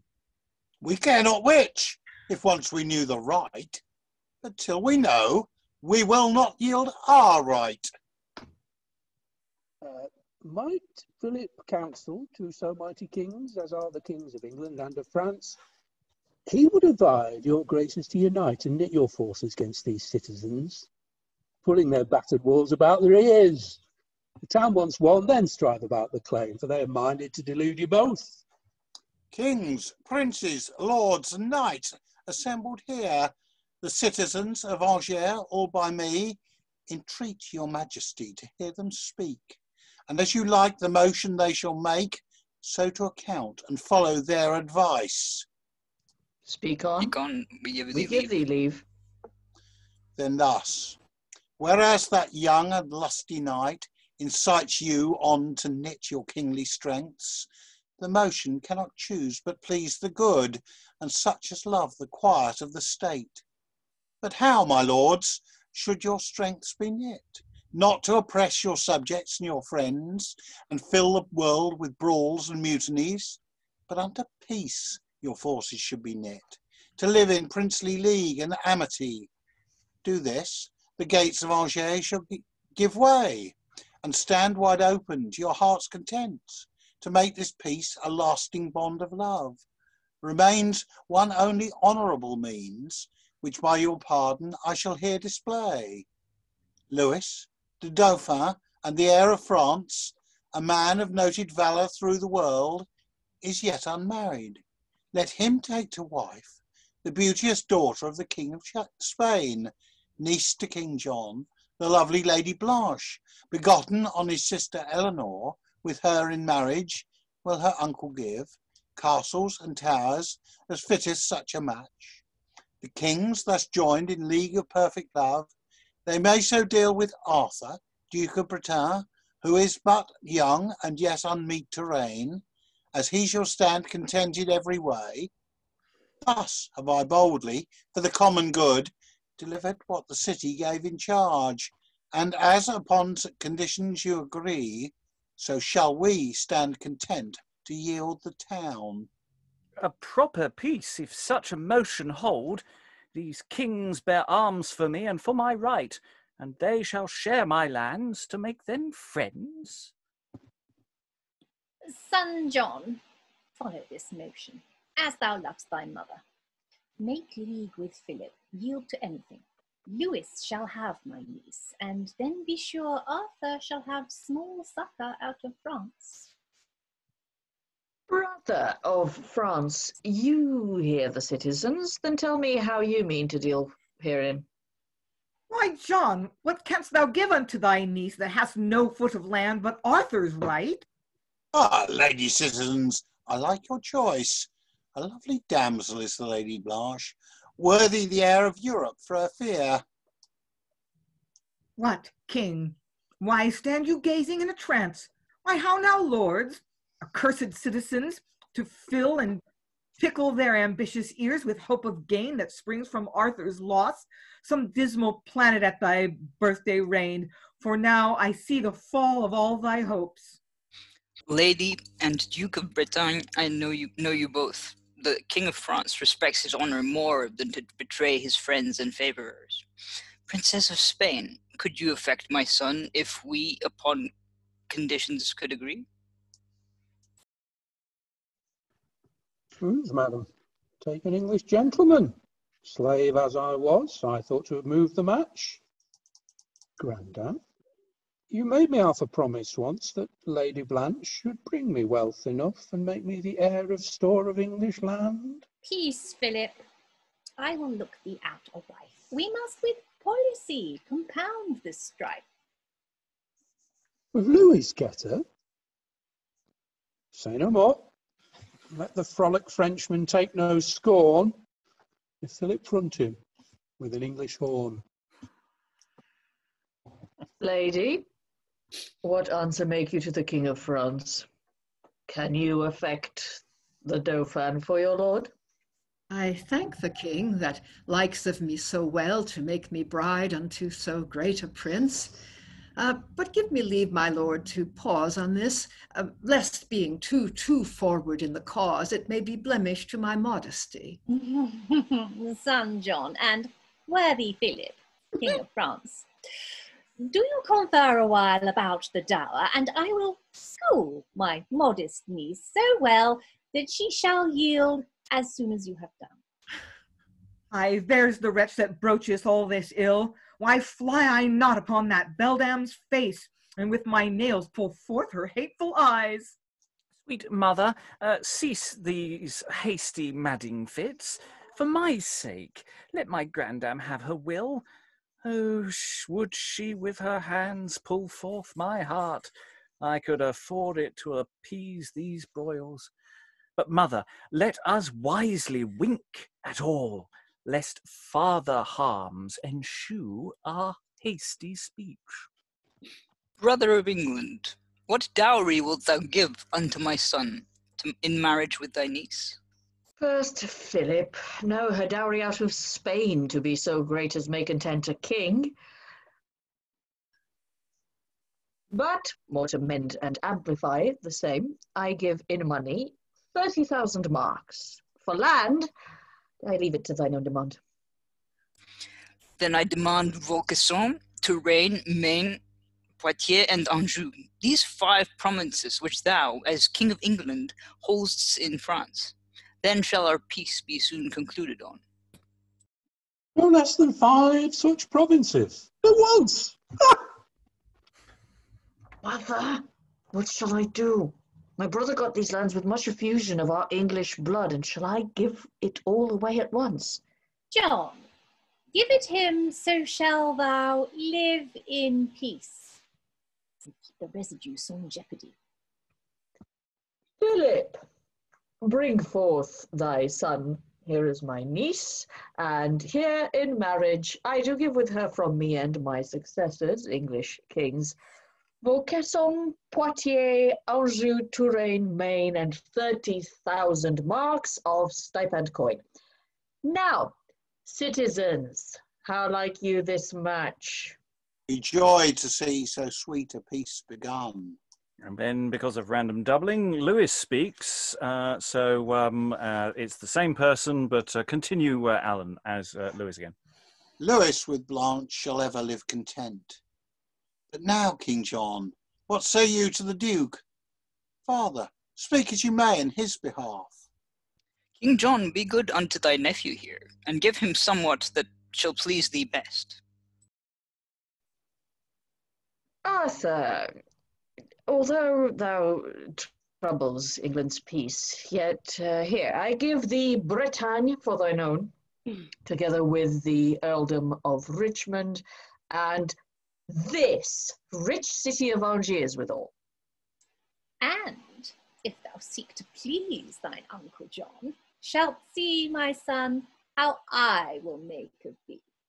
Now everything is sorted to this end, let's in. And there prepare the marriage rites, which in St. Mary's Chapel presently shall be performed ere this presence part. And they all exit except for Constance and Arthur. Ah, madam, good cheer, these drooping languishments add no redress to salve our awkward haps. If heavens have concluded these events, to small avail is bitter pensiveness. Seasons will change, and so our present grief may change with them, and all to our relief. Ah, boy, thy years I see are far too green to look into the bottom of these cares. But I, who see the poise that weigheth down thy wheel, my wish, and all the willing means wherewith my fortune and thy fame shall mount, what joy, what ease, what rest can lodge in me, with whom all hope and hap do disagree? Yet ladies' tears and cares and solemn shows, rather than helps, heap up more work for woes.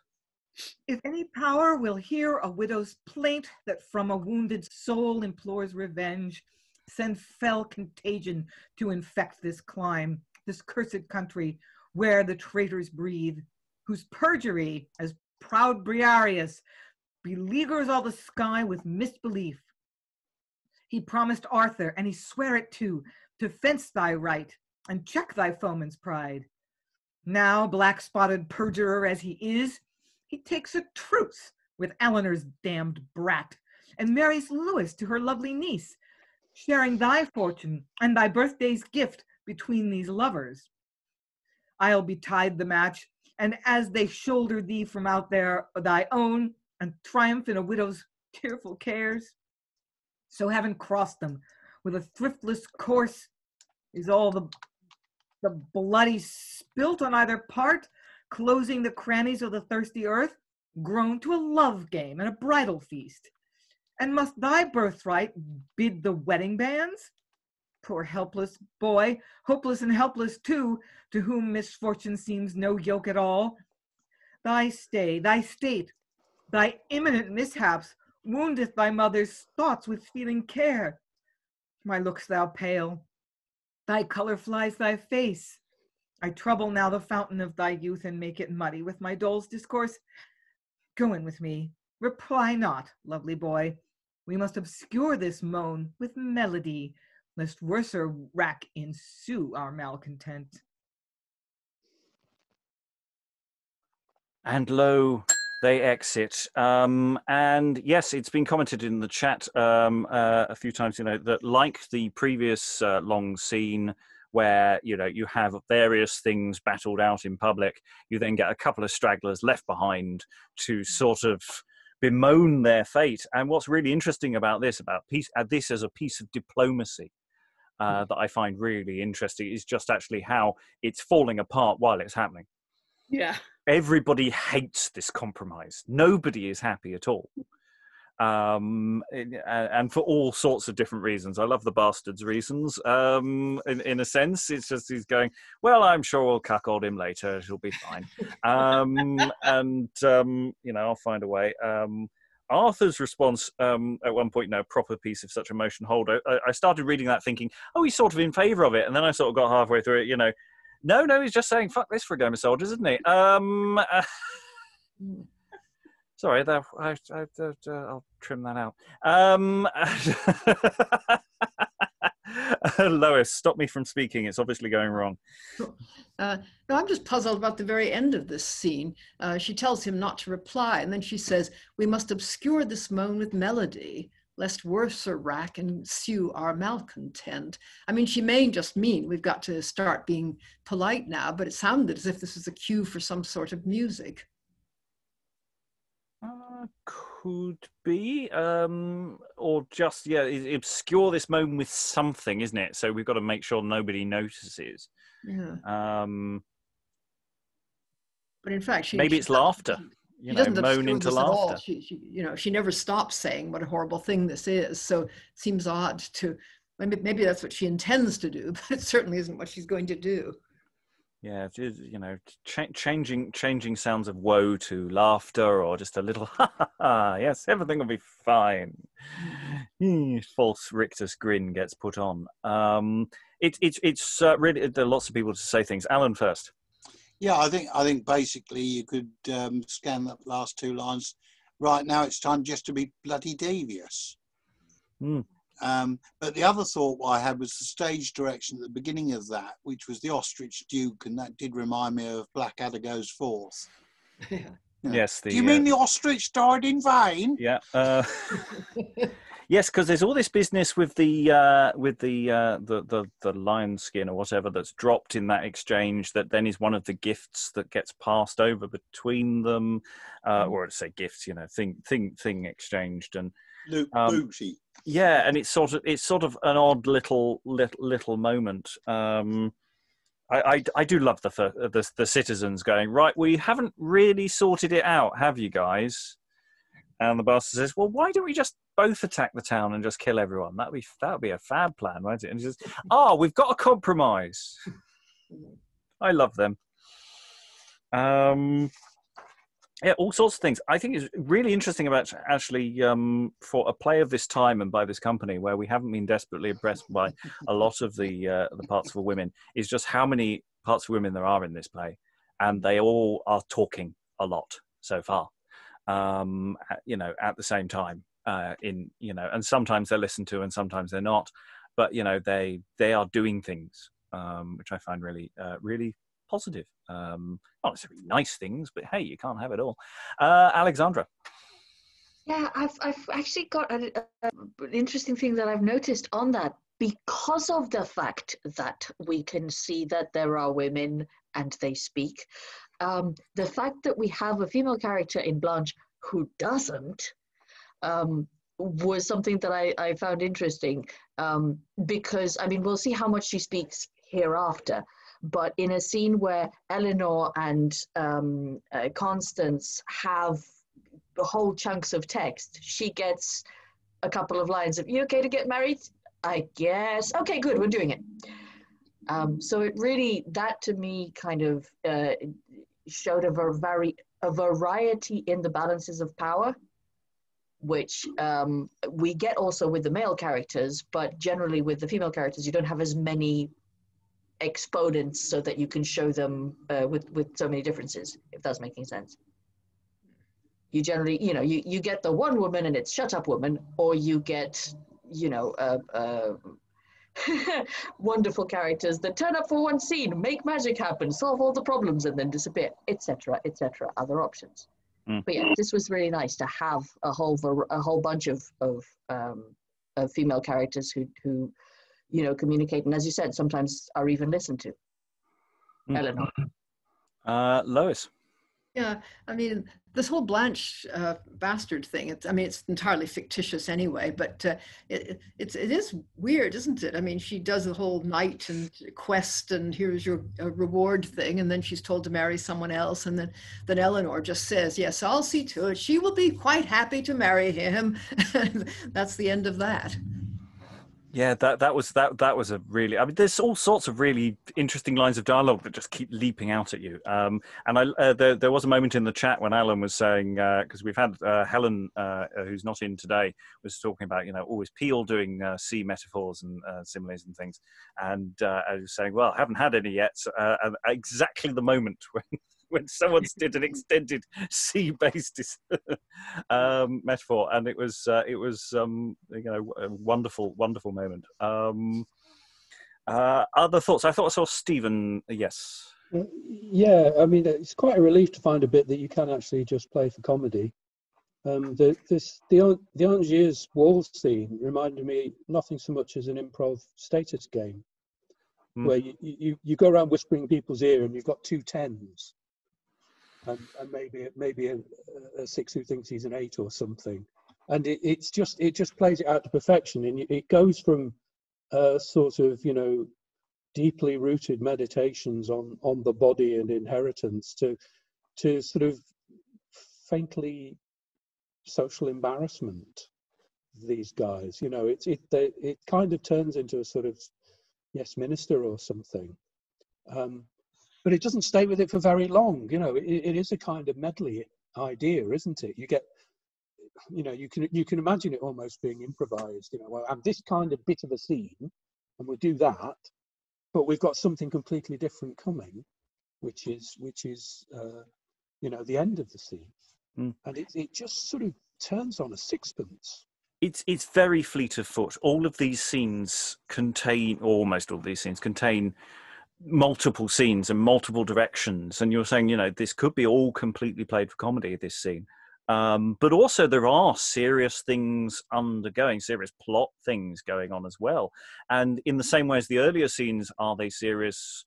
Where do we place the comedy uh, in them? Uh, we have, you know, maybe this the pendulum swung a little bit the other way, but then also there's a lot of room for maneuver to play around with with what's underlying it as well. Um, I've, I've, you know, I'm, I'm really liking about the potential for this play, the fact we haven't come out of this going, we know exactly where to go with this.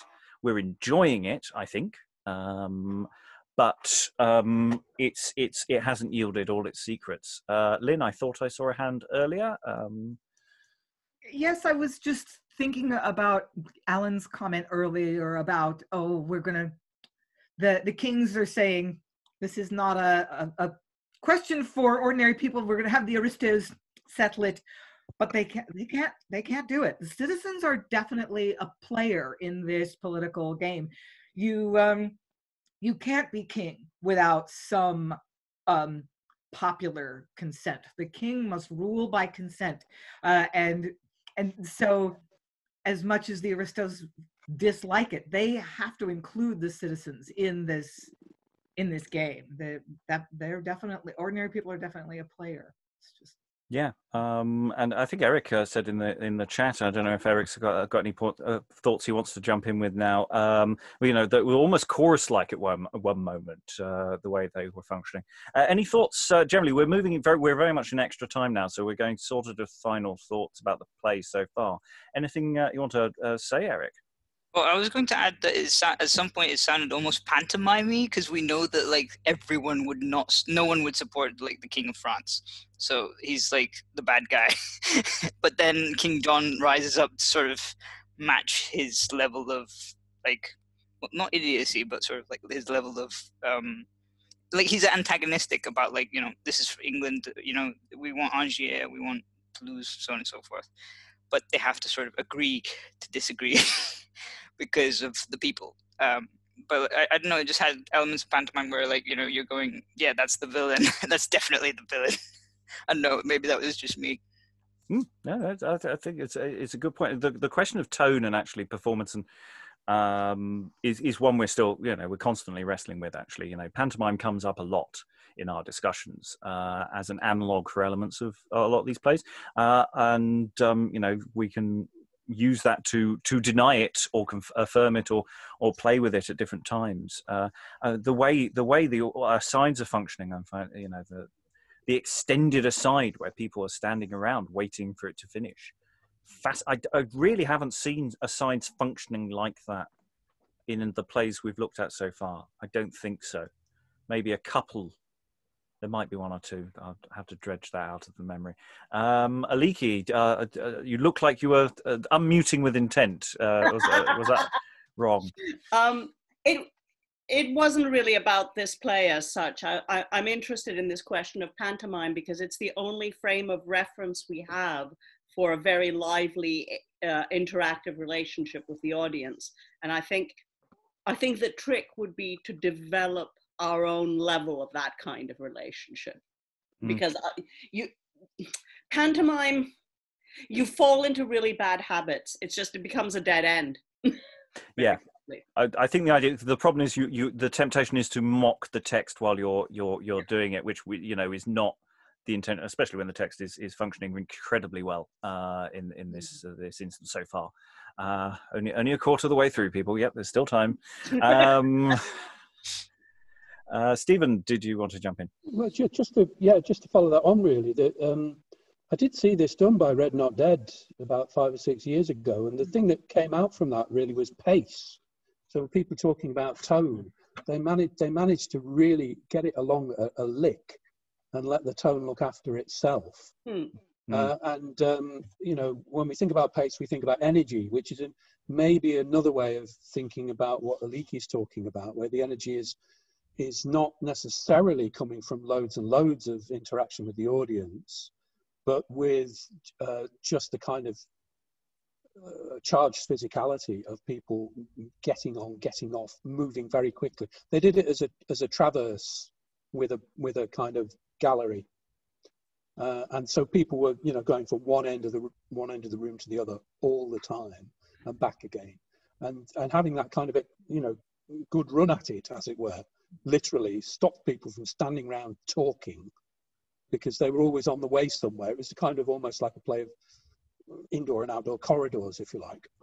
Hmm. That's really interesting because otherwise it could be really static. I mean, except for the the excursions and whatever, we've had quite a lot of people just standing around talking about who's right is what and marriages and stuff.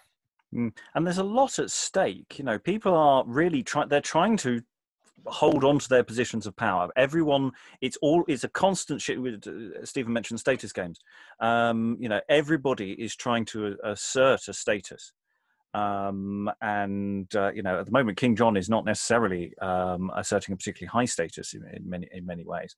Uh, not necessarily a low one, but um, there's an awful lot of people talking and trying to get themselves uh, in positions. Mm. And it was interesting for me doing Arthur, um, where I got a reasonable amount of text. Was yeah, he wanted to move fast. I didn't want to ha- hang around. I mean, it was just a sight read, so you know we're only getting ideas. Um, we very much are into extra time. I'm not going to go around the whole room uh, for final thoughts, but uh, we are in that sort of area. So um, uh, Lois, I saw a hand.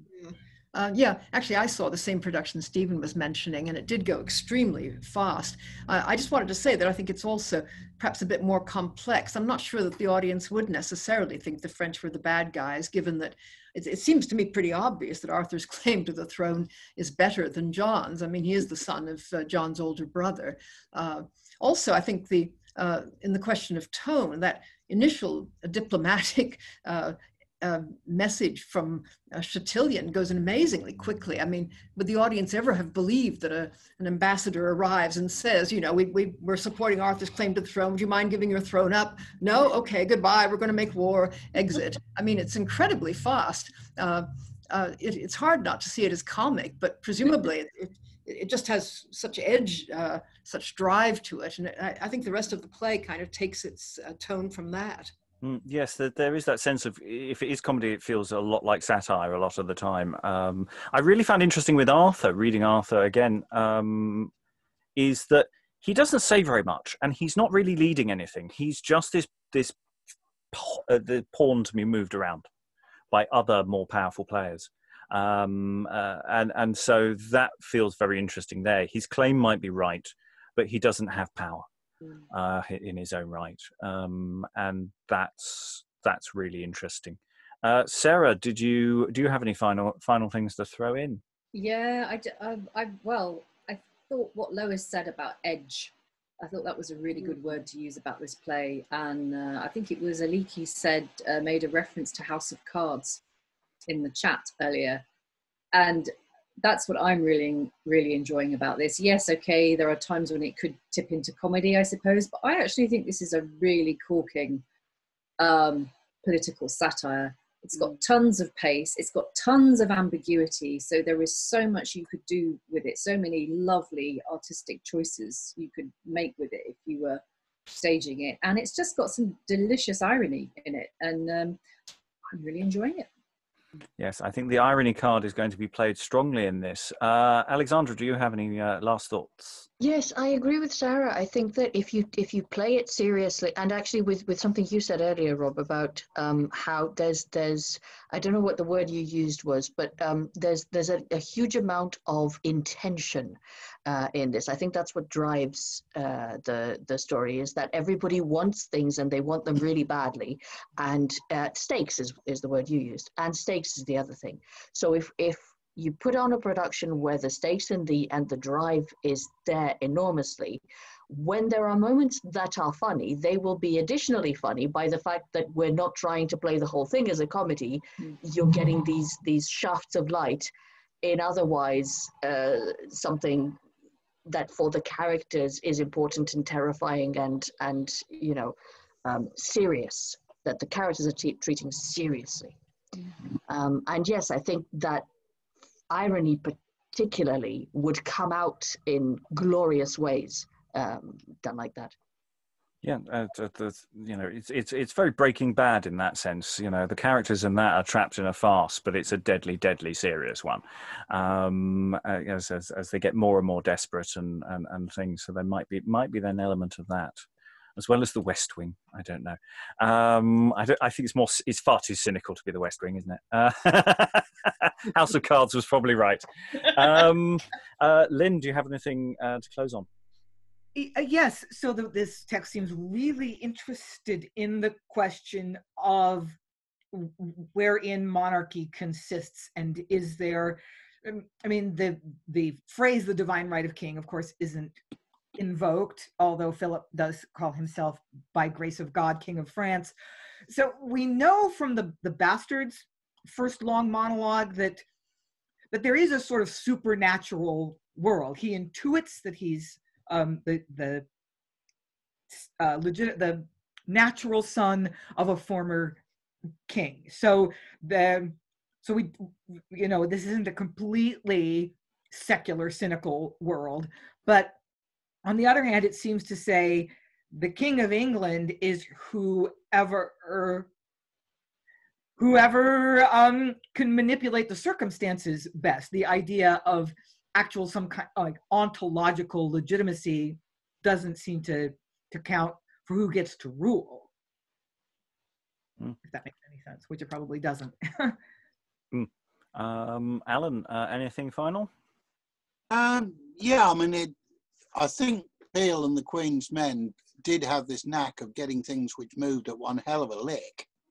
And I think it has to be played at that pace to make it work. Um, and I think we've got from the bit we've done so far, which is what about a third of the place, the page count, um, it does seem to be getting someplace fairly rapidly. Hmm. Um, uh, Eric, do you have anything at uh, final uh, for for the room? I, was just going to say that um, like there are a lot of obviously interesting characters, um, you know, in the Kings and stuff, but also um, I think it was Constance who started off like with sort of hoping that you know there's not going to be a war, and then by the end of this bit, she's like, I mean, like by the end of scene, you know, two or three, she's kind of like, you know, she wants to go at them basically, which is quite a change. Hmm. Yeah. Um, I think I've gone, although I haven't formally gone around everyone. Uh, I've gone around most people uh, quite a lot. Anyone dying to say anything final uh, who hasn't had a chance? We've got three more sessions. So if you're here f- uh, for the next time, then you can add more in for then. Uh, so all that remains then is to um, thank everyone for this first session looking at the troublesome reign. It hasn't been particularly troublesome for us. We've enjoyed it enormously. Um, uh, but um, there are three more sessions uh, to go, and uh, hope that you can join us. Thanks to all the readers, and goodbye. Bye. Bye.